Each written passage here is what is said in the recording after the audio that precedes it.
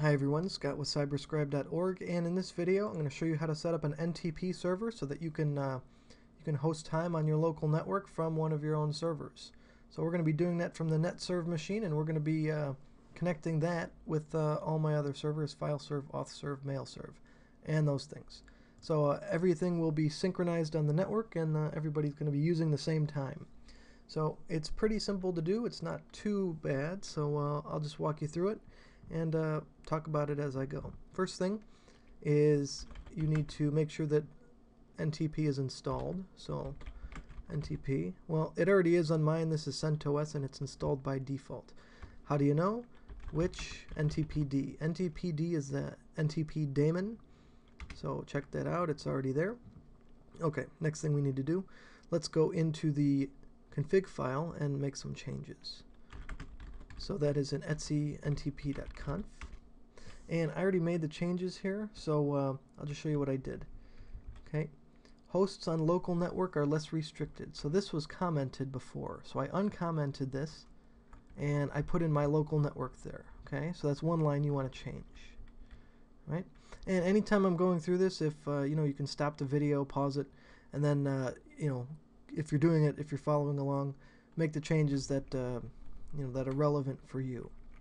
The only other thing I did here is that the default is uh, server 0123 and they're all from the pool okay? So what I did here is I instead of the uh, server 3 from the pool I went and I put the loopback address. That means that if my internet goes down but my local network is still up it's still going to be serving from the hardware clock uh, from the local uh, loopback address there other thing, iBurst, this is also default. This is uh, for quicker synchronization.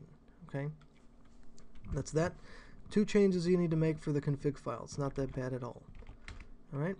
Next thing you need to do is you need to make it persistent. So when you reboot, then you want the NTP daemon to start. How do you do that? Check config, NTPD on. That's it. You're good to go. Let's double check that. Check config list grep ntpd and it, you can see that ntpd is for run levels 2 through 5 it's on. Okay so that's good to go. Service we want to start it up right now. Ntpd start. Okay. And next thing you want to do for that is uh, let's go and make a firewall rule and I'll show you how to do that. So we're going to go system config firewall you only need the firewall rule on your NTP server machine. Your clients who are going to be getting the uh, the time, they don't need the firewall rule, but you do need it on your server. And it's not in trusted services. You need to go and you need to go into other ports and uh, add. Now it's 123 UDP. So I already did it, okay? But if you're going to add 123 UDP. Okay, that's all you do. And cancel out of that.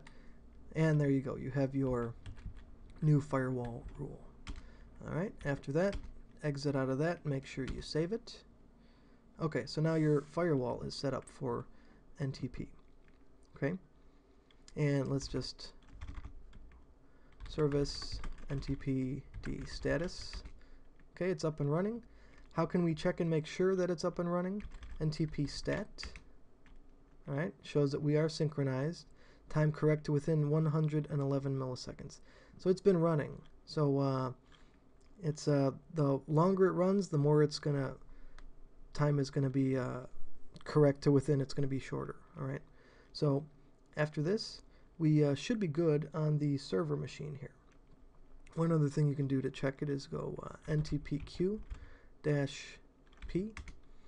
And you can see uh, the local host at the bottom right? And that's uh, that's going to take the place of the other ones should my internet connection go down as long as the local network is still up okay? So that's that and uh, there is your NTP server working on the uh, on the server. So now what we need to do is we need to go over to our clients and make sure that they can access the NTP server and make sure that you're going to be all the configurations are as you want them to be. So what we need to do is make it persistent first, check config. Okay, well let's which ntpd. Okay, just make sure that it's on there. If it's not, yum install ntp or apt-get install, whatever your distribution works with. But the, the package name should be ntp. All right. So what we're going to do is check config ntpd on. Okay. And after that, service ntpd start. Okay. And it's already going. It's running. Next thing we're going to do is let's go into the config file. So vi etc ntp.conf. Right? And I made a couple changes in this one, so uh, let me just show you what I did. The only thing that I really did here was I now you see server 0 CentOS pool ntp.org. Okay, these are the default, but what I did is I put in my own server here, 172.20.0.2.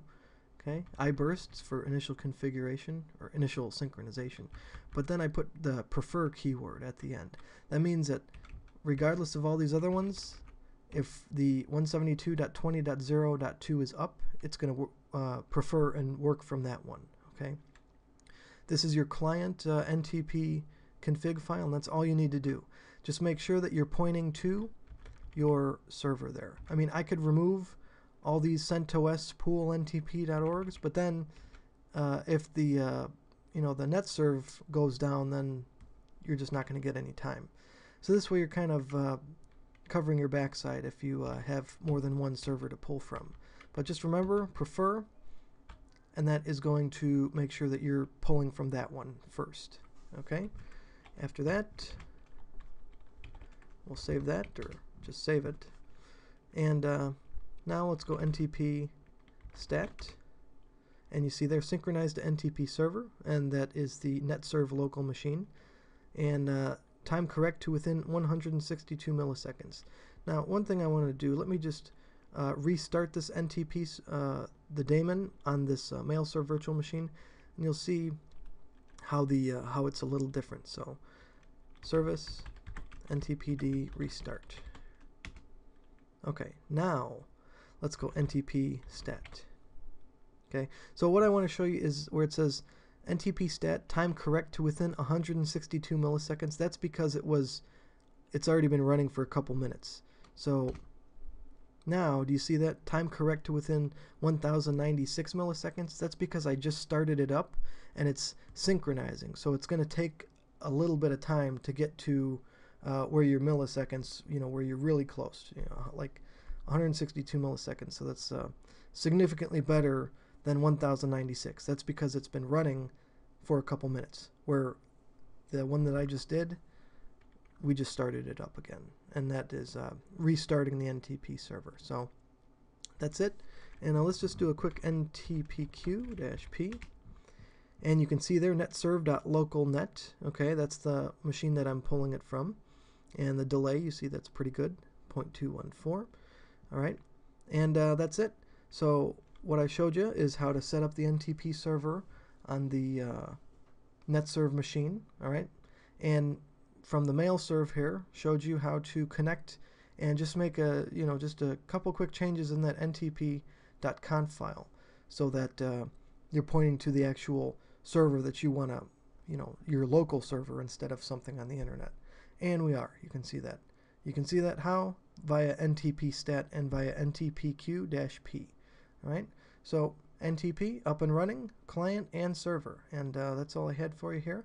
So stay tuned for future videos.